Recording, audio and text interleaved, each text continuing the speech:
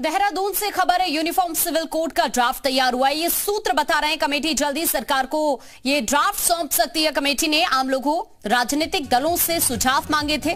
कई सामाजिक संगठनों ने भी कमेटी को सुझाव दिए। जस्टिस रंजना देसाई की अध्यक्षता में ये पाँच सदस्य कमेटी गठित की गई थी, जो यूसीसी का ड्राफ्ट तैयार कर रही है।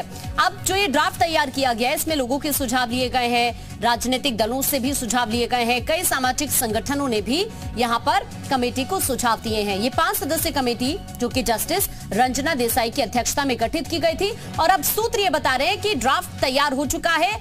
जल्द ही इसे सरकार को सौंपा जाएगा।